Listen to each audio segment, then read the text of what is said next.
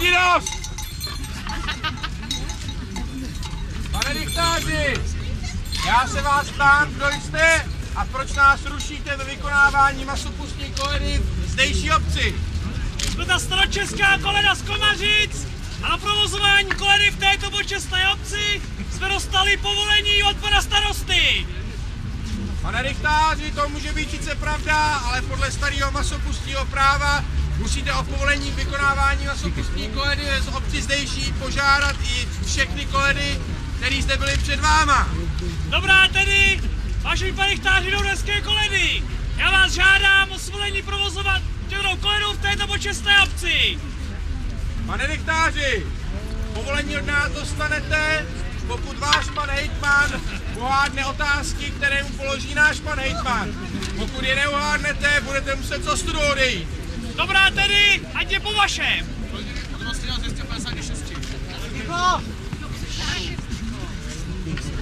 Pane hejtmane Komářické koledy, odpovězte mi tedy na tyto tři otázky, které, jak známo, jste se v Bibli dočíst mohli. Tedy za prvé, jak dlouho trvala potopa světa? Tedy za druhé, jak dlouho trv- putovali židé do země zaslíbené? A tedy za třetí, jak dlouho vládli králové David a Šalomou? Vážený pane hejtmane Donevské koledy, odpověď na všechny vaše tři otázky je 40. 40 dní a 40 nocí trvala potopa světa. 40 let putovali židé do země zaslíbené a 40 let krá- králové David i Šalamón. Pane hejtmane, je vám známo, co ještě dalšího 40 let trvalo? 40 dní 40 dní byl Kristus pokoušen na poušti a 40 dní přebýval na zemi po svém zmrtvých stání. Pane hejtmane, a je vám ještě známo, co ještě trvá a trvat bude? Pane hejtmane z Odlebské koledy, i na tu otá- otázku vám rád odpovím.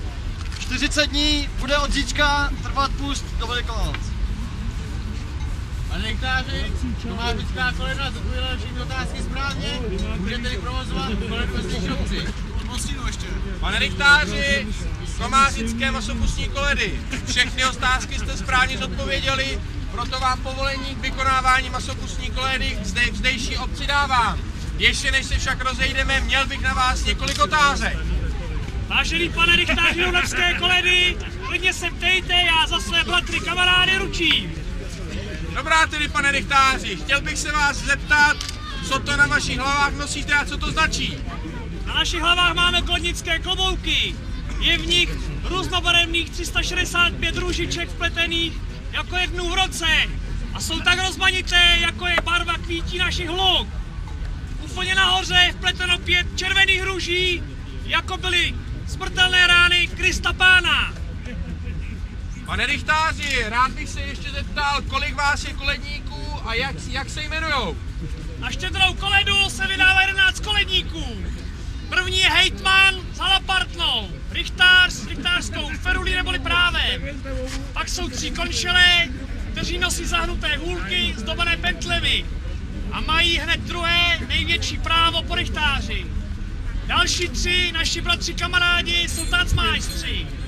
Nosí na levé paži věneček zdobený pentlemi a když muzika ve stavení nebo hospodě začne solo hráti, musí jako oni první s divčaty tancovat títi. Poslední tři mý kamarádi symbolizují tři hlavní plodiny nutné k obživě obyvatel a zvířat, jako jsou pšenice, ječmen a oves. Pane Richtáři, děkuji vám za vaši odpověď. Ještě mi řekněte, kdo je tahle otrhaná osoba s cepem. To je naše matka! Je pošita flíčky, nebo ti první lidé se listím přikrývali. V rukou má cep, kterým si první lidé chléb dobývali ze země. A tam, kde matka udeří cepem o zem, děláme kolečko. Ještě mi řekněte, kdo je tamhle ten pán. Tak to je náš rybníkář. Má košík, do kterého dává všechno to, co jsme si na štědré koledě vykoledovali. My máme taky, akorát u nás se jmenuje Moučnej. A ten mouku, kterou vykolodujeme, nosí a s ní nám peče chleba. Ještě mi řekněte poslední otázku, co to držíte ve své pravé ruce a co to znamená. To, co držím v malé ruce, je rychtářská ferule. Je rozříznutá, protože je více dílů světa a její barevnost značí různost národů. A tady na konci ten sobánek ze slámy spletený a k feruli přivráz, přivázaný nás opravňuje k vykonávání koledy tam, kam přijdeme. Bez tohoto práva bych nemohl za své kamarády trestat ani je ručit. Dobrá tedy. Vaše otázky jste mi zodpověděl. A než se rozejdeme, rádi bychom vám udělali kolečko. Vážený pane Richtáři, ale i já bych se vás na něco rád zeptal. Nuž tedy ptejte se. Já za svoje bratry koledníky ručím. A co vaše ferule, kterou máte v pravé ruce? Co je na ní vyobrazené a proč máte na konci tu mašličku? Pane rychtáři, to je ferule, která, kterou nosím já jako rychtář. Na jedné straně je červený pětilístek, který značí pět světadílů, na druhé straně zelený čtyřlístek, který značí světové strany.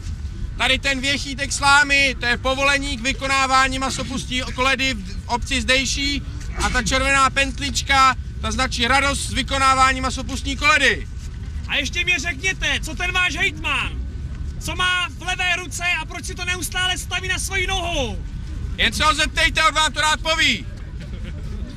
Pane nechtáři komářické koledy, to je halapartna, ta značí kopí, který byl probodnut Ježíš Kristus a stavím si ji na svoji nohu, protože já i bratři koledníci nemáme domovský právo, tak ji stavím na svý. Dobře jste mi odpověděli na mé otázky, ale ještě bych se zeptal vašeho koledníka, proč má na svém rameni pušku? Jen se ho, jen se ho zeptejte, on vám to řekne. O, pa, pane Richtáři, o komářické koledy, to mám proto, abych mohl bratrům koledníkům nalovit zvěr.